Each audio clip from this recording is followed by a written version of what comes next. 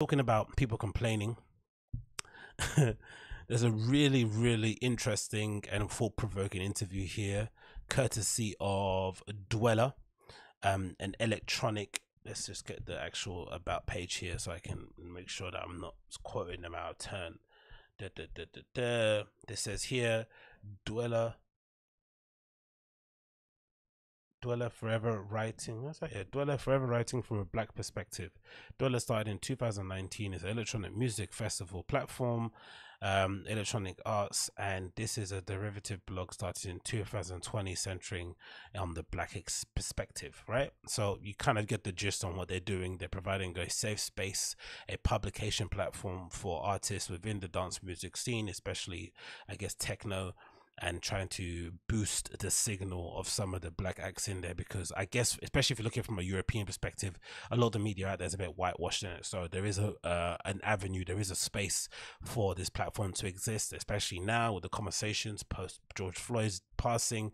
There's definitely an appetite for a more diverse um, uh, platform that's providing, you know, um, uh, that's highlighting some emerging acts or maybe some actual story that's uh, maybe overlooked. But regardless, um, I like some of the articles, I like what they're talking about. But I think this um, article here, a conversation with LSD XOXO, the process of waiting to excel and the Black Techno Revolution kind of triggered me in some way, shape, or form, especially off the back of, you know, watching the Larry Levan documentary and what basically he was able to do during some really, really tough times in the 70s and 80s to see people sitting here and essentially complaining about not being included um, given the amount of resources that we have available and access and whatever it may be is a little bit disingenuous. But again, who knows? Let's read some of the questions and answers, and then we'll kind of go through some of my opinions regarding it. Where is it? Da, da, da, da, da. Where is it? It starts off somewhere here. I think at the bottom. Blah, blah, blah. We got mixtape working on March. I've been working on my choreography. It continues here. Where is it? It gets really interesting towards here. The bottom. Da, da, da. Yeah, so there we go. It gets around here. Mm -mm -mm. Okay, cool. So uh da, da, da. so it says yeah frankie um obviously one of the head honchos from Discwoman asked um lsd xoxo the following question. I mean it's crazy how much black artists in new york are putting on putting out into the world. And he replies it's just like a real resurgence in black dance music. It feels like because of the social climate right now we actually have to take ownership of what's ours. White artists just really stepped into dance music and took over of course there are some great white artists and i'm thankful for what they contribute.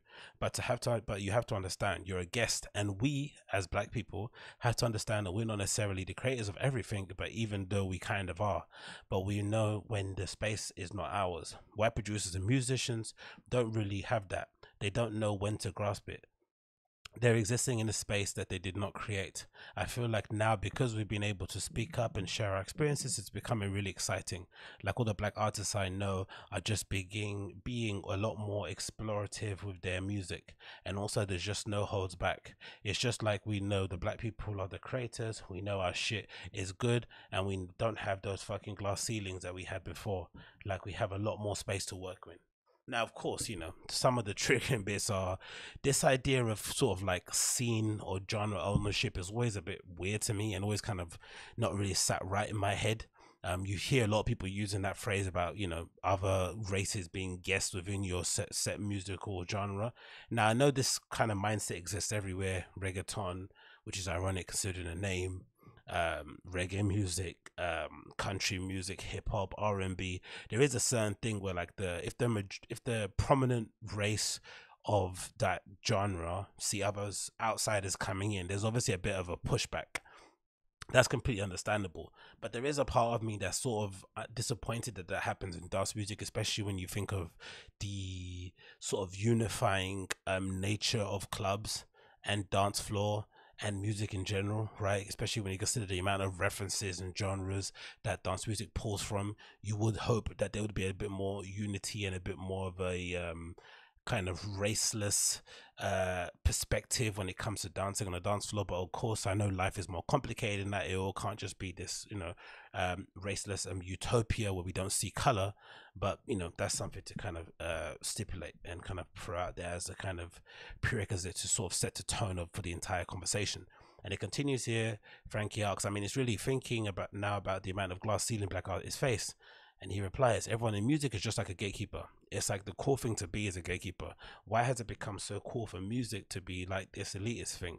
It's because everyone who's running it is a white person. Pretty much every genre of dance music has created a political movement mm-hmm. as a way to get you to step away from colonialism and capitalism. And now those have become the deciding factors. Like, what's hot in dance music? Where are the opportunities at?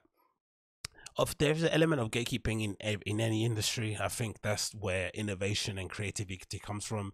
I think if you're not facing some level of opposition and some level of pushback in the genre or area that you want to pursue, it probably isn't worth pursuing. So I wouldn't really read too much into that. And again, there is a part of me that also thinks the barrier of entry in dance music is extremely low. As long as you got the money, as long as you got the access to the venues and equipment, you can effectively put on a party just about anywhere, especially if you've got the audience and the customers or the community willing and able to travel and pay to attend your events. You can kind of cultivate your own little scene pretty quickly. It continues here. Da, da, da, Oh, it says yeah, um, European sector, and then says of um, LSD is following. This is the, the, it's the main culprit about European the touring circuit. Yeah, since I've moved here in Europe, of course, like of course, I realize that the glass ceilings and stuff that happens to the states, but I've grown to appreciate the states so much because like there's just a natural sense to me more vocal and talk about things that are opposed to just trying to skirt around everything. Yeah, they don't like to conflict, so they can't resolve anything, which is true. I do think there's an aspect of like avoiding the tough conversation conversations. I think in the UK we have this issue even here with the um with the lack of I guess yeah with the weird way that we kind of a- approach door picking right? You go to, I think I mentioned it previously, you go to a club in Brick Lane and you're a group of five lads, doesn't matter what color or race you are, probably might be increase your chances if you happen to be white and wear skinny jeans and say, oh, all right, mate, and your, you know, sleeves are, you know, your arms are covered in sleeve tattoos. But for the most part, it's pretty difficult for a group of boys to get into most clubs within, I'd say, central London towards the central east central sort of area, right up until Dalston. It's really difficult. Most places I've got this set my idea in the head that groups of boys are just gonna immediately cause trouble. So there's discrimination that way. And there is also this weird sort of thing where there's a lot of segregation in terms of like scenes the hipster scene, the commercial scene, the tech house scene, the this scene, the underground scene, the warehouse scene. There's a lot of real, there's lack of kind of um, blending of the communities, especially when you consider the punters that go are generally sort of going for the same sort of thing, right? Um, dance, uh, get high, get drunk, meet new people, but there is a lot of kind of separation in that regard. And some of it is manufactured or some of it is sort of orchestrated or architect by the industry itself, right? By this prevalence to maybe push out certain voices, push out certain people, push out certain faces, certain colors and creeds. But again, I think even though it, there can be a lot of sort of barriers, I do think the opportunity is also the fact that you can essentially, as long as you can sell tickets, as long as you can, you know, um, uh, get a lot of people to spend money behind the bar, you can essentially put on your own thing and sort of avoid all the issues that exist out there in clubland but it, you know, but you then end up creating the same kind of click that you're sort of running away from. But hey, what can you do? It continues. Um, she says this. It, Frankie says it, it's quite hostile. Actually, he says, "Yep, yeah, I've had blowouts with people here in Europe. Of course, he mentioned in Berlin, I think, because he lives there. He said, I've gotten into it with so many of the people that I worked with in the past in Berlin because you have to teach them how to work with black artists, how to work with an artist that's not come from their same background. That's extremely, um, that's extremely broad, generalized statement. But again, you know, he, this is what you're going through personally, so I can't object to it. He says you have to respect the art that comes along with it. It's not just about bureaucracy and business. I respect both sides of music as well, but if you're just focusing on that stuff, it's just like, what's where's the meat? Where's the fucking meat? I don't even eat meat, but, but I want it in the music. He says, living in Berlin has been a definite hassle for me, but the time has come to move here was a good time because, like, I actually feel like I had some sort of say in the things. I had my power just because people know who I am from the last release. I'm able to utilize that so I can get my foot in the door. So I'm trying to get my body in the door so I can hold it open for other black artists, which is great. That's what you want to see. And again, you know, living in Berlin, I guess you have access to some of the best or maybe well connected agencies out there, um, some of the best venues, uh, people that really care about the music. And as long as you have the right support system around you, there is an opportunity for you to kind of reach a wider audience and ultimately get to a level where you can sustain yourself as an artist. Because I think there is obviously a lot of there are people who come into dance music, especially DJing, um, uh, wanting to sort of you know conquer it all and be the person with the most list of gigs on RA and be well regarded, win awards and whatever it may be. But most people, I'd assume, myself included, you get into it because you just want the respect of your peers. You want to be able to command a decent amount following a decent enough of a following and also just have a career where you're not able you're not kind of having to put in a position where you have to work a part-time job. If you're able those needs are able to be met you're going to be pretty happy i'd assume especially you know you sprinkle in some collaborations and remix work with people that you actually love and rate maybe an opportunity to maybe bring up or kind of help some other kids come through. Like that's basically what you want and if that's the case, Berlin is definitely the great place for that to happen. Of course, there's going to be the other side of the coin where there's going to be a lot of, you know, opportunistic, um, you know, um, social climbing heads. But I think all in all, from the times I've been there, and especially, you know, you know, I'm not somebody that's well connected. I'm just a raver and a DJ who just happens, you know, to go to Berlin like every year to have a bit of a dance. I found it a pretty easy place to kind of make some connections, and I've only spent you know the best part of what of a couple of weekends there every other year or so. So I can imagine living there. The opportunities and the doors that open can be amazing. It continues. Um, he says here, uh, Frankie says here, these clubs need to keep their doors open, which is funny. He replies and says, the clubs in Berlin, they love a queue and they love a closed door.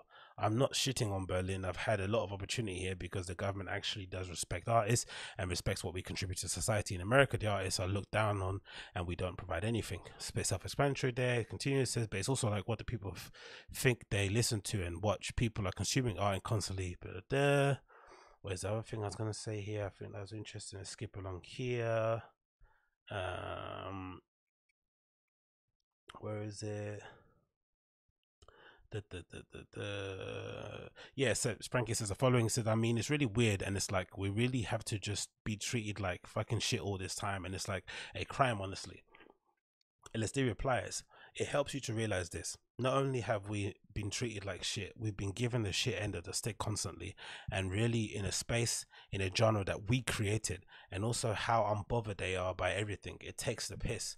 We've gone through so many struggles this year as people, and I just watched the people I've associated myself in this past year, and a lot of them are so oblivious to the issues outside of their own bubble, which I can understand why that can be frustrating for sure, especially if you're more politically and socially active than some of your peers trying to bring up some conversations because most of the time as well there is a little bit of a difference i think in europe than there is maybe with america. There isn't there is a reluctance to talk about politics openly especially hot button topics like race discrimination um, social and economic inequality. It's just not things that you just casually bring up, and it's always going to cause a little bit of a rift, you know. Whereas in America, you do get the feeling that it's sort of like fire from the hip a lot more often, especially you know in a um, in a you know in a Trump presidency presidency world, there is maybe a bit more of an onus put upon you know sharing your opinion and making sure the people you're speaking to know that you're not voting for the orange man bad,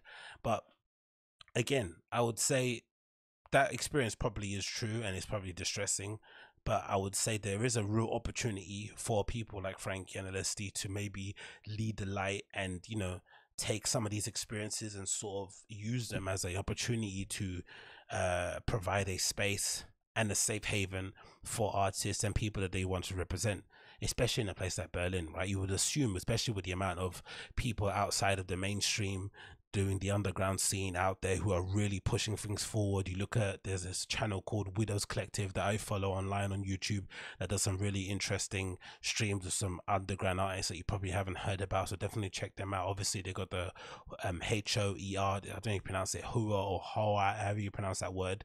Um they they have one of the probably the best online DJing, you know, radio stations that exist out there in Berlin, pushing out some really amazing people. They book anyone from Ellen Allien to you know somebody that you haven't heard of from the local scene so there are opportunities and i really would it really is a shame that there isn't a space specifically um, out there in Berlin that's catering towards representing voices that aren't necessarily represented some of the bigger clubs.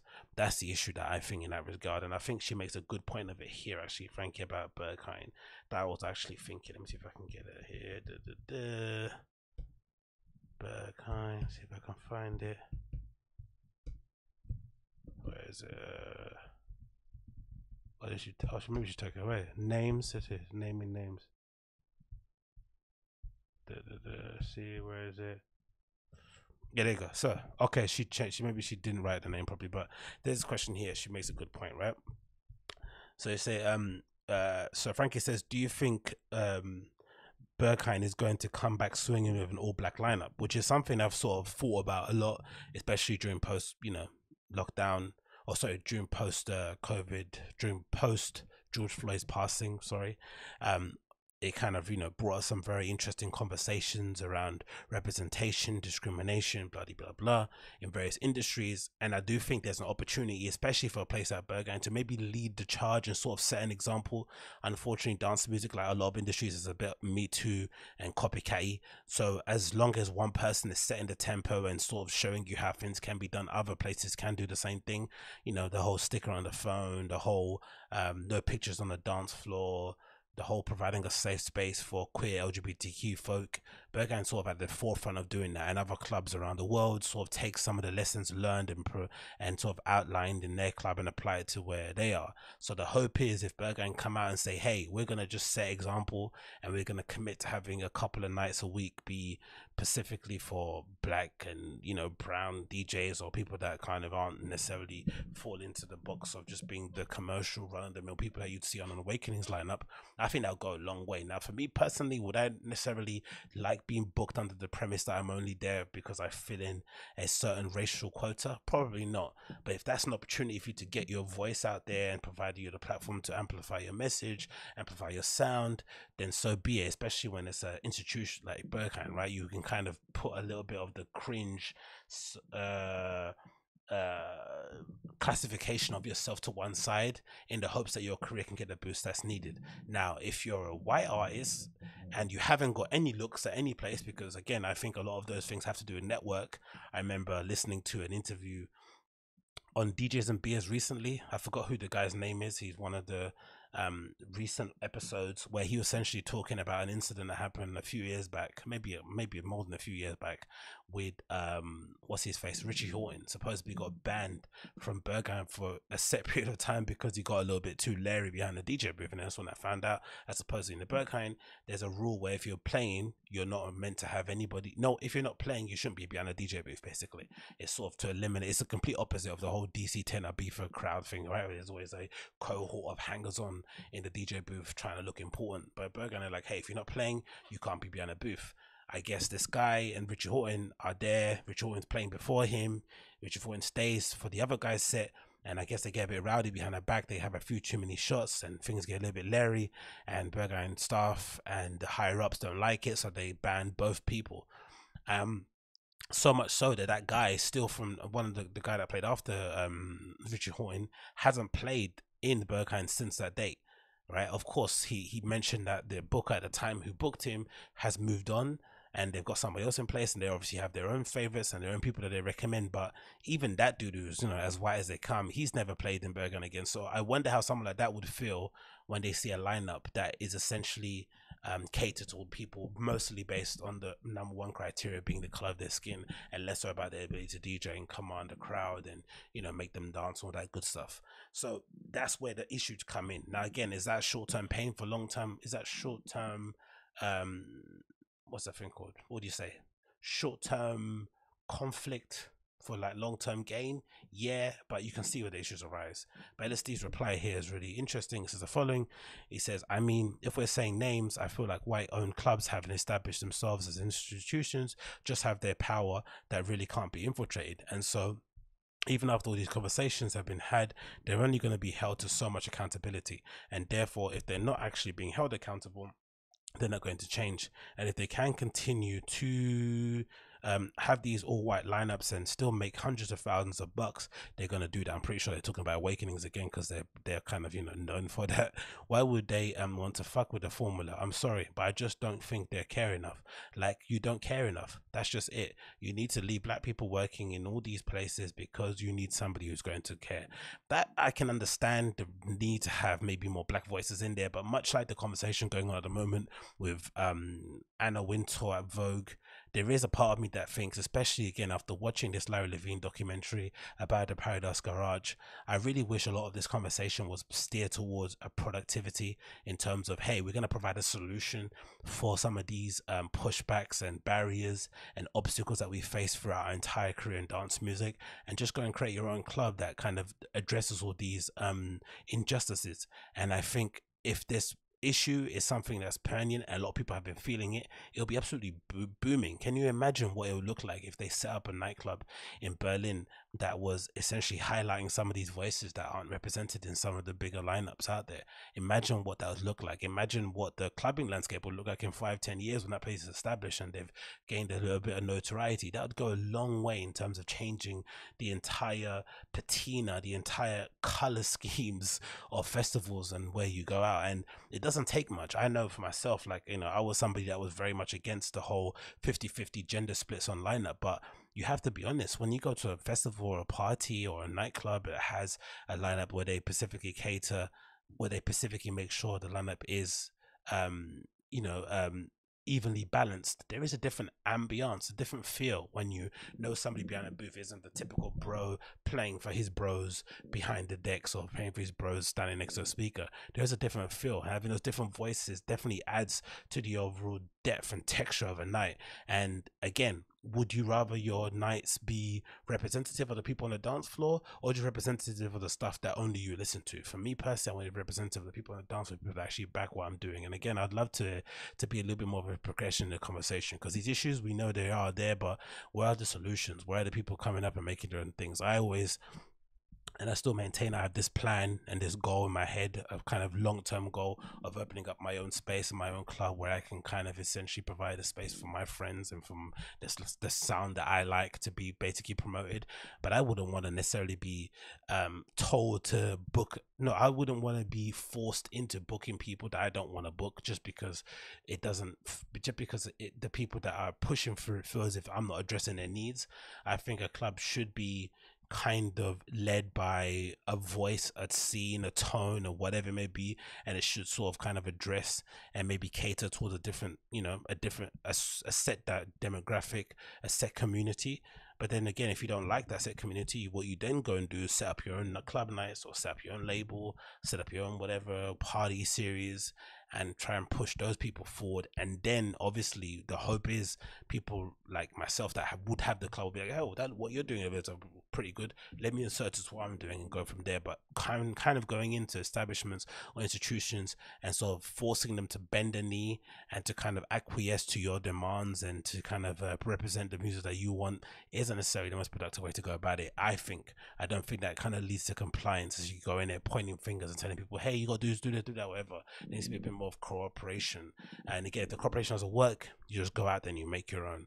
But regardless, I think it's a good article a pretty good thought provoking one, generate a lot of conversation and hopefully um, lead to some actual um, solutions that a lot of us, you know, myself included, punters can benefit from. But definitely check it out. It's on Dweller Electronics.